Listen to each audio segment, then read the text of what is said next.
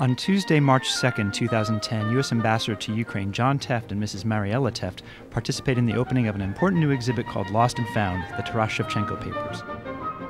This exhibit includes manuscripts, letters, photographs, and other historical documents belonging to Ukrainian cultural icon and prominent historical figure Taras Shevchenko that had been saved from the conflagration of World War II and preserved in archives in the U.S. for over half a century and have been restored under the Ambassador's Fund for Cultural Preservation. Ambassador John Tefft and Mrs. Mariella Tefft were warmly greeted at the National Museum of Literature of Ukraine by the museum's director, Mrs. Soroka, and the head of the Shevchenko Institute of Literature of the National Academy of Ukraine, Mr. Zhulinsky. During his remarks, Ambassador Tefft recited verse from Shevchenko's poem Testament in the original Ukrainian, which was much appreciated by the Ukrainian guests at the event. Імення сім'ї нові. Tehim Slovom. Then in,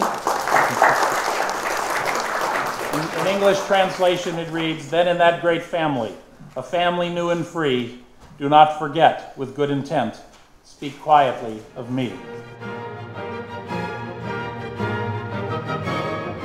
Afterwards, Mr. Galchenko, the Shevchenko Collection project director from the Institute of Literature, then gave Ambassador and Mrs. Tefft a tour of the collection of these objects that had belonged to this early advocate for Ukrainian independence.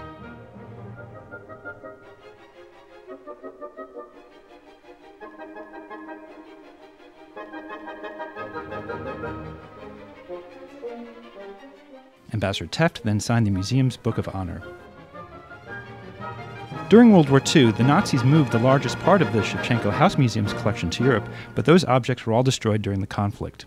However, the former director of the Taras Shevchenko Museum, Mr. Terashenko, saved the most precious part of the, that collection, which is the foundation of the current exhibit. He secretly smuggled these objects out of Ukraine in his suitcases as he fled westward in 1943, finally arriving in the U.S. in 1951. These precious items in the Shevchenko collection included original manuscripts, Shevchenko's authentic letters and etchings, rare photographs, and other important papers.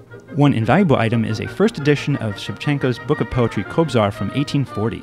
This is believed to be one of the three remaining copies of the book and is the only one in Ukraine. Since being spirited out of Europe, this unique collection was preserved by the Ukrainian Academy of Arts and Sciences in the US, located in New York, but many were unaware that these items had been saved. Discovered by an astute scholar, they were returned to Ukraine to its permanent home in the Institute of Literature of the National Academy of Sciences of Ukraine in 2006. Since their return four years ago, the Shevchenko collection has been closed to the public and to researchers as well. It was first necessary to have conservation experts work with the papers and have museum experts prepare an annotated inventory. The U.S. government, through the Ambassador's Fund for Cultural Preservation, provided a grant to the Institute of Literature of the National Academy of Sciences of Ukraine for the restoration of these objects and the publication of a catalog as well. This exhibit marks the first time that these objects, once thought lost but later found and returned to Ukraine, have been available for public viewing. Since its establishment in 2001, the Ambassador's Fund for Cultural Preservation has supported over 500 projects worldwide, including eight in Ukraine, the largest number of projects of any European country. Over 30 media outlets attended the exhibit's opening on March 2, 2010, and prime-time newscasts on national TV and radio carried overwhelmingly positive reports about the opening of the Shevchenko exhibit. All the stories prominently feature the ambassador reciting those lines from Shevchenko's poem in Ukrainian. The exhibit will be open through April 15, 2010.